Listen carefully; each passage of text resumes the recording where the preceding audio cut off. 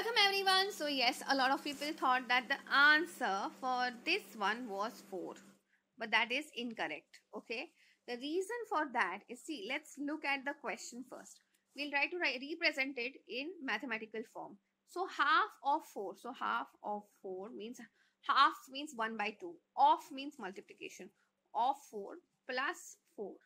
It is exactly this. So first if you're following BODMAS or PEMDAS, we all know that multiplication has to be done before addition or subtraction. Okay. So here first we will do this. So half of 4 is what? 2. So now we have 2 plus 4. That answer comes out to be 6. Okay. And not, not 4 okay i hope this is very very clear to everyone. Please understand it was the question was not half of 4 plus 4 this was not what they were asking. They had asked us this which is half of 4 and then add 4 okay? So i hope this is very very clear to everyone. That's it for today. I will see you in the next video